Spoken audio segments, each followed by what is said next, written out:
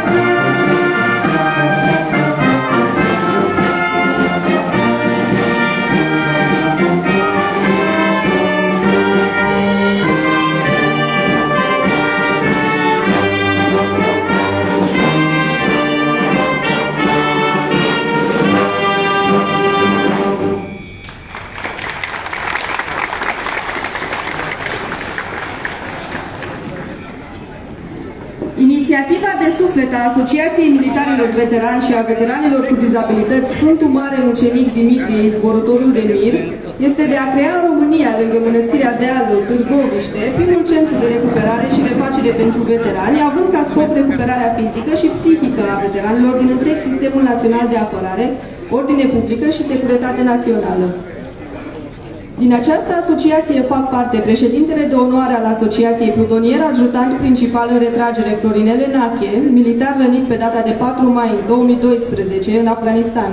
Este militarul român vizitat la spital de președintele Statelor Unite ale Americii Barack Obama.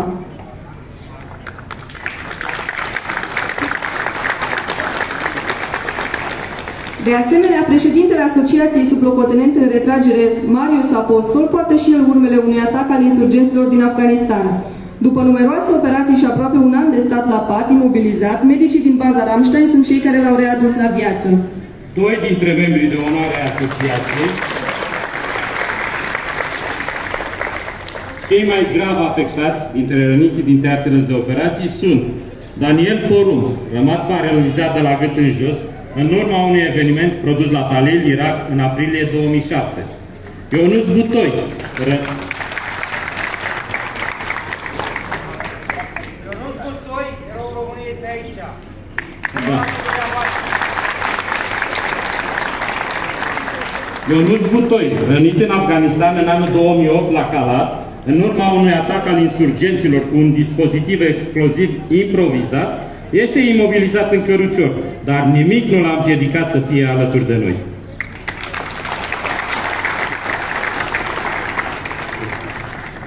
Îl invităm pe domnul sublocotenent în retragere, domnul Marius Apostol, președintele asociației, să vină alături de noi, dar nu înainte de a-i mulțumi pentru efortul depus în tot ceea ce face, pentru că ne-a dat ocazia să fim alături în această seară.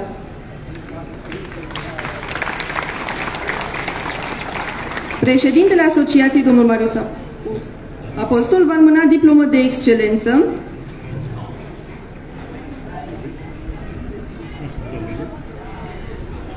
Um, va înmâna diplomă de excelență uh, președintelui sucursalei AMVVD Argeș, domnul Dan Arsenescu,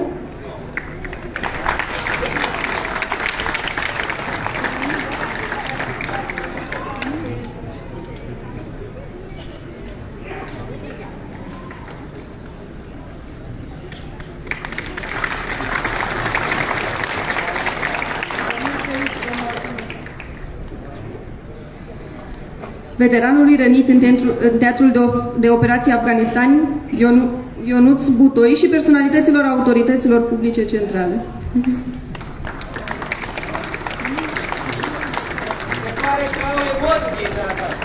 Colegii mei de la Dacă vă spun că este o diplomă de excelență militarului rănit, Ionuț Butoi, erou al României, și nu că este rănit.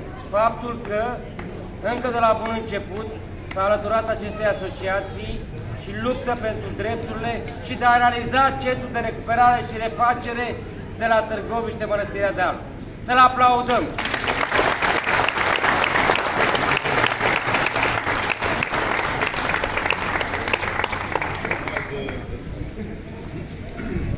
Președintele sucursale, sucursalei AMVPD Bacău, Raul Simion,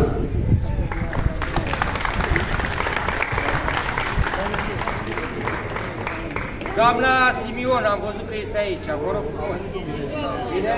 A, am crezut că lipsește, de la forțele speciale de la Bacău. Să-l aplaudăm pentru...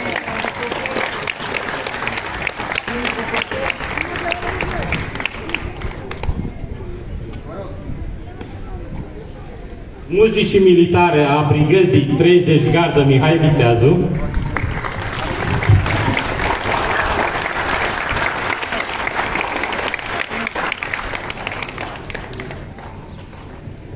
O secundă, vă rog.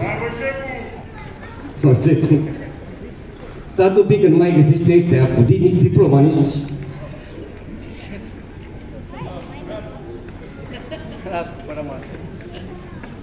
Mulțumesc, doamne.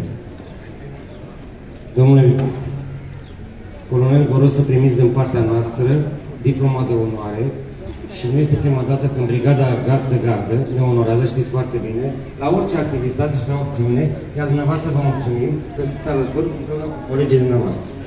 Vă rog să-i aplaudăm pentru prima dată în Călăraș, Brigada de Gardă 30, Mihai Viteazu.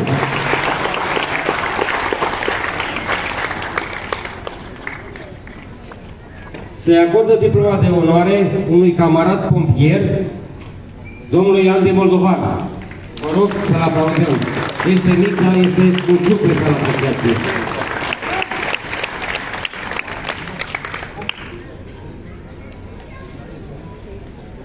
Felicitări!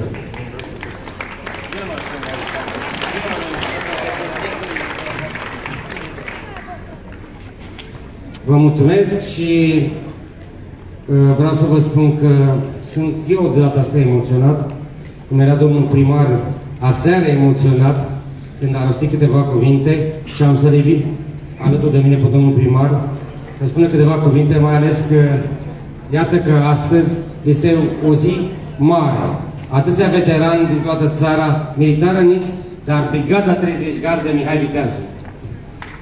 Ce a fost de spus, s-a spus aseară, pentru că astăzi este vorba despre eroii zilelor noastre, despre oameni care au pătimit pe fronturile lumii unde au fost duși. V-am spus și aseară că armata este ultima pe care o folosim, pentru că atunci nu mai avem soluții și atunci trebuie să aducem liniștea cu ajutorul lor.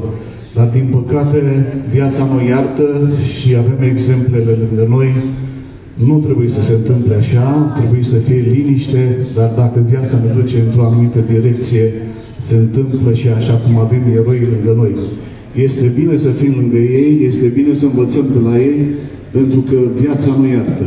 Eu vă mulțumesc că ați ajuns la Călăraș și am putut să sprijinim acțiunea dumneavoastră și sper să fie un succes, pentru că avem nevoie de acest spital pe care cu ajutorul dumneavoastră vreți să facem. Eu vă felicit pentru tot ceea ce faceți, pe toți. Vă mulțumim frumos. Mulțumim.